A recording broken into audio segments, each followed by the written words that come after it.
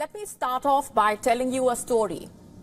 On the evening of August 23rd, residents of a small Russian village called Kuzemkino were rattled by the sound of an explosion in the sky.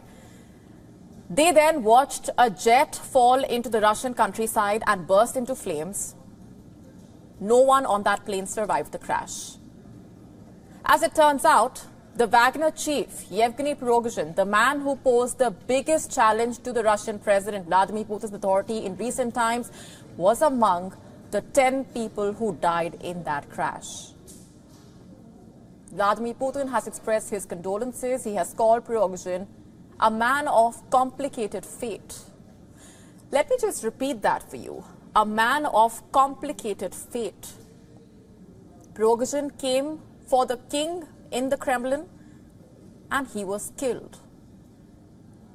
The king's grip on power is now stronger than ever, even if it took two months. Only a few doubt that Putin was behind what the US believes was an assassination attempt. But let's just be clear. If it is ever proven that the plane crash was an act of deliberate, cold blooded revenge, it will go down as the ultimate special military operation. Ever since he led a mutinous march on Moscow in late June, the Wagner boss was seen as what many called a dead man walking. In late June, Prigozhin said his mercenaries were only marching to Moscow to oust the Russian defense minister and the chief of staff of the armed forces, General Valery Gerasimov. Prigozhin, you see, had accused both of mismanaging the Russia-Ukraine war, and that too in profane terms. But an armed rebellion in Russia was a clear challenge to the Russian president, and he looked surprisingly vulnerable when he failed to crush that mutiny. After all, he had denounced the group's leaders as traitors. But as is the case in today's Russia, we know very little about what really goes on in Putin's court. What we do know is that Putin does not and would not forgive. Perhaps Yevgeny Prigozhin knew his days were numbered. According to Russian media reports, in fact, he had taken his private jets to confuse people, checking in for a flight but never actually getting on board, or flying with two at once so that no one could tell which one he was actually on. But that trick seems to have failed him this time. On the ill-fated day, two of his jets were airborne, but while the second landed unharmed near Moscow, the one carrying him crashed. So how did he manage to defy Putin and still remain alive for so long? Remember that rebellion took place in the month of June. He appeared down but not out.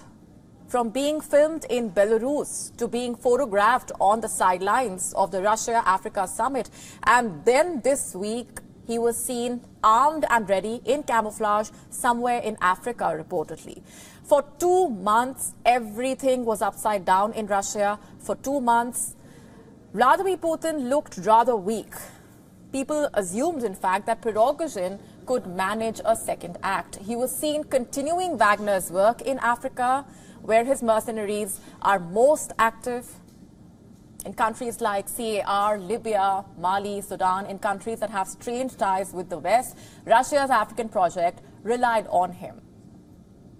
But in Russia, the Kremlin was moving to remove hardliners, quote unquote, who criticized the Ukraine war. Igor Girkin, a former commander of the Russian proxy forces in Ukraine, was arrested last month, in fact. He had persistently criticized Putin and Russia's invasion of Ukraine. And then the Russian general, Sergei Surovikin, or General Armageddon, as he was called, he was sacked as the Air Force chief. He has not been seen in public since the Wagner mutiny. But let's just get back to focusing on the Wagner chief, Prigozhin.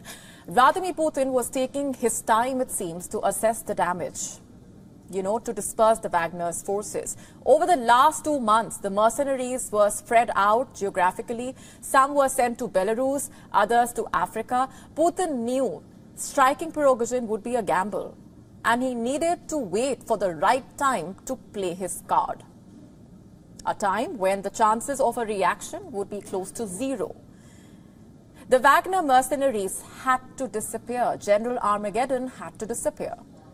Also, what better cover than BRICS? And with the Wagner chief gone, Putin has sent out a message that he was waiting to. For Prigozhin's men, the message is one of fear, and for the Russian armed forces, it is that of revenge. And for everyone else who is following this story, the message is quite clear. You do not cross Vladimir Putin. We are now available in your country. Download the app now. Get all the updates on the move.